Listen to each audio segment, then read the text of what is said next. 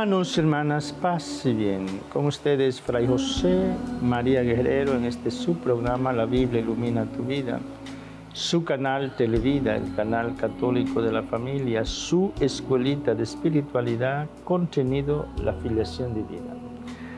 Hermanos, hermanas, hemos iniciado la última semana histórica de Jesús. Ayer domingo celebramos su entrada su entrada triunfal, Domingo de Ramos. Entrada triunfal que termina, ¿verdad?, con la salvación de la humanidad, con la paradoja de Dios. Entra, el pueblo lo aclama, pero luego termina como un maldito, colgado en la cruz. Pero esa maldición, hermanos y hermanas, Dios la transforma en la mayor bendición para la humanidad. La maldición queda abolida y Dios la transforma en la mayor bendición para la humanidad. De la cruz brota la vida, de la cruz brota la salvación de la cruz brota la redención. De la cruz brota la santidad. La cruz. El temor del diablo. Bien, hermanos, hermanas, la última semana histórica de Jesús, me encanta esta expresión. La última semana histórica de Jesús la última semana histórica. En esta semana Él nos salva, nos redime, nos comunica su, vida. Una semana muy intensa, hermanas, hermanos, hermanas, se agudiza el conflicto entre Jesús y sus enemigos. Se agudiza el conflicto. Y hoy, hermanos y hermanas, lunes santos, lunes santo, y la Santa Madre, Iglesia nos da ese hermoso texto de Juan, Juan 12, del 1 al 11, la unción en, en Betania, que podemos titular como el gesto tierno, hermoso de una dama para con el Maestro el gesto tierno, hermoso de, una mujer para con el maestro. Se trata de María Magdalena, la hermana de Marta, la hermana de Lázaro, que toma un frasco de perfume costoso y lo derrama sobre la cabeza del maestro.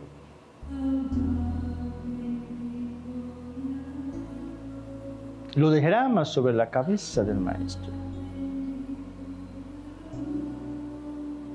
María Magdalena. El gesto hermoso, tierno de una mujer para con su maestro.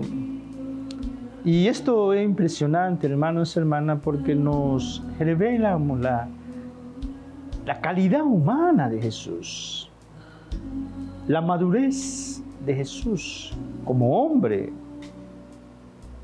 Se deja amar por esta mujer, lo demás se escandaliza. Pero Jesús la defiende. Jesús la defiende, hermanos y hermanas. Y este gesto de María Magdalena nos hace recordar el otro gesto de aquella mujer de Lucas, de Lucas 7. Aquella mujer prostituta que besa los pies de Jesús. Y eso se deja besar los pies. No se escandaliza, hermanos y hermanas. Lucas 7, del 36 al 50. El diálogo de Jesús con la samaritana es importante, hermanos y hermanas. Es interesante el trato delicado de Jesús para con las mujeres. Y cuán hermoso, hermanos y hermanas, y desafiante sobre todo para los sacerdotes, que como Jesús hacemos un voto de castidad, de del celibato, de jamás acercarnos a una fémina con deseos impuros.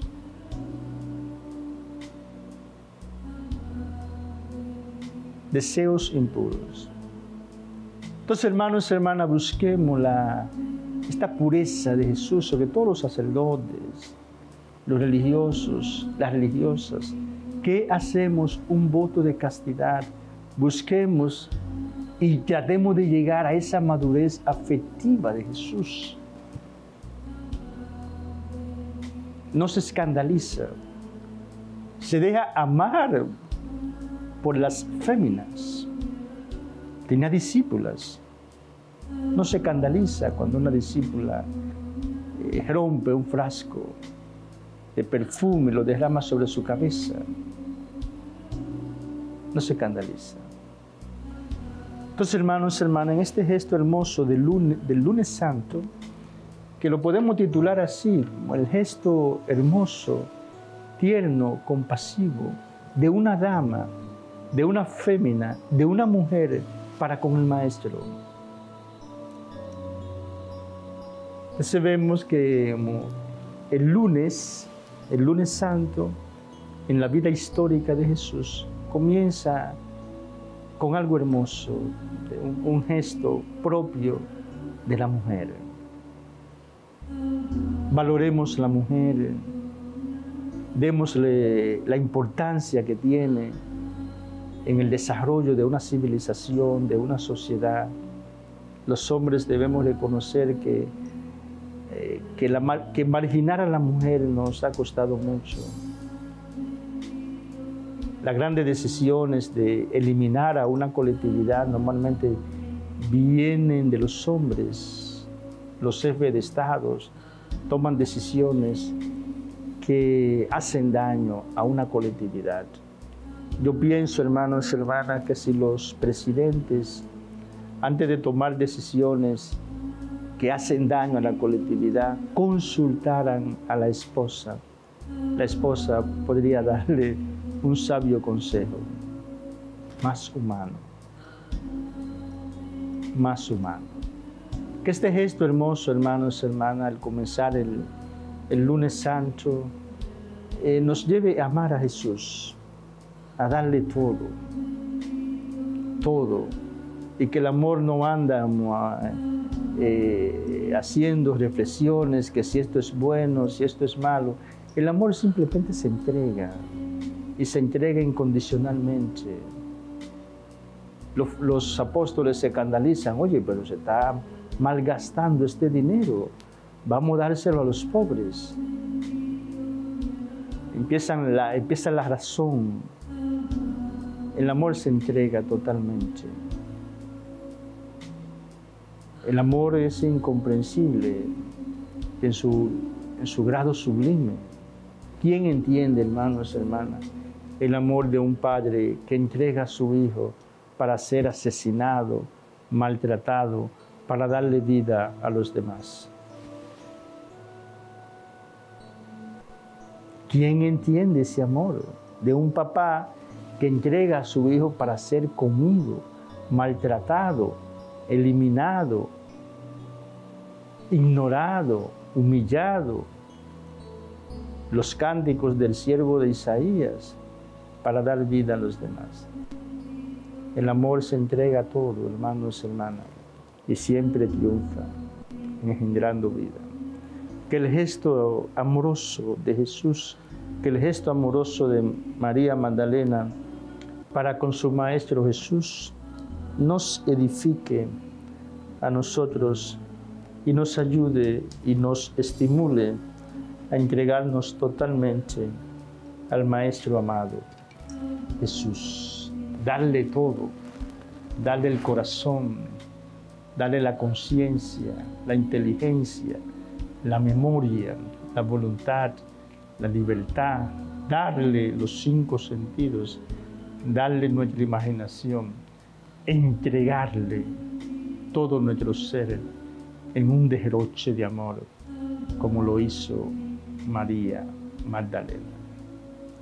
Darle todo el amor a aquel que aceptó morir violentamente por mí para devolverme la vida y la amistad con Dios. Adorémoslo. Señor mío y Dios mío, creo firmemente que estás presente en la hostia sagrada, en la plenitud de tu amor, en la plenitud de tu poder, en la plenitud de tu divinidad. Creo en ti y te adoro.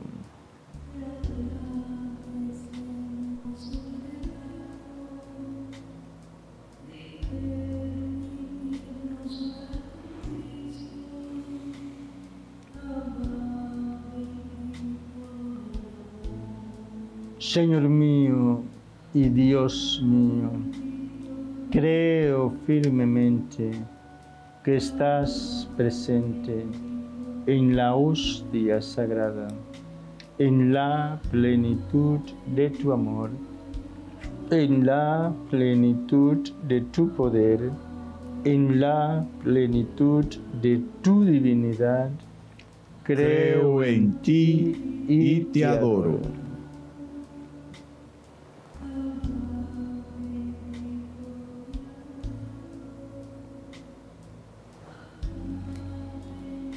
Señor mío y Dios mío, creo firmemente que estás presente en la hostia sagrada, en la plenitud de tu amor, en la plenitud de tu poder, en la plenitud de tu divinidad.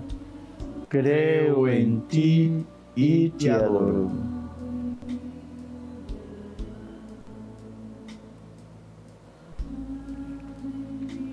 Padre infinitamente bueno, infinitamente santo, infinitamente amado, concédenos el don del Espíritu Santo para que durante la jornada de este día podamos pensar, hablar, sentir, imaginar y actuar como hijos tuyos, a imagen de Jesucristo, tu Hijo amado. Amén. Padre infinitamente bueno, infinitamente santo, infinitamente amado, concédenos el don del Espíritu Santo para que durante la jornada de este día podamos pensar, hablar, sentir, imaginar y actuar como hijos tuyos, a imagen de Jesucristo, tu Hijo amado. Amén. Padre infinitamente bueno, infinitamente santo, infinitamente amado, concédenos el don del Espíritu Santo para que durante la jornada de este día podamos pensar, hablar, sentir, imaginar y actuar como hijos tuyos a imagen de Jesucristo, tu Hijo amado. Amém. Amém. Silêncio, intimidade, presença, adoração.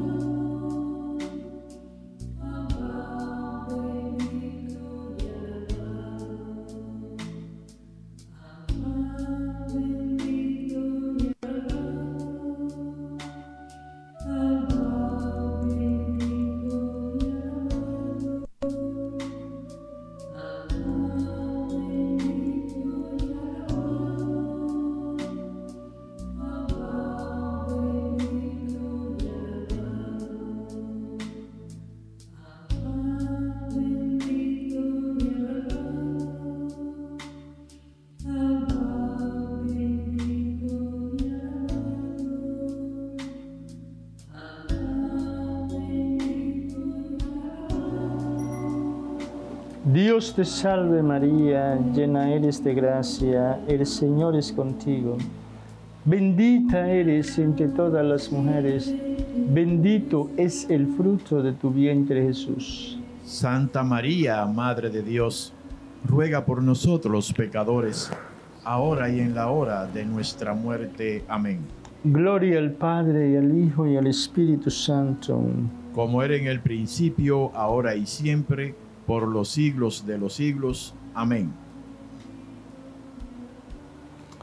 María Santísima, Virgen de la Altagracia, protectora del pueblo dominicano. Ruega por nosotros. María Santísima, Virgen de las Mercedes, patrona del pueblo dominicano. Ruega por nosotros.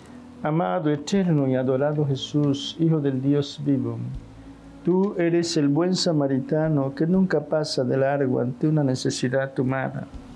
Te suplicamos por la intercesión de María Santísima, de San José, de nuestras constelaciones de amor, que tú pongas en cada televidente, en cada miembro de su familia, el vino que tú sabes hace falta. Tú que vives y reinas por los siglos de los siglos. Amén.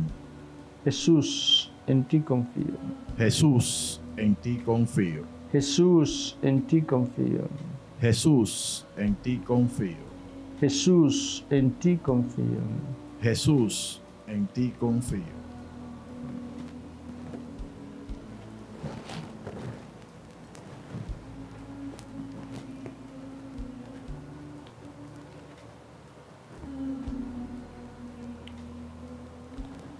Amado, eterno y adorado Jesús, Hijo del Dios vivo, Hijo de María Santísima, Salvador y Redentor nuestro, bendice el planeta Tierra. Bendice a cada ser humano que lo habita y acelera en nosotros la hora de la santidad, la hora de la iluminación, la hora del despertar, la conexión con nuestra esencia. Amén.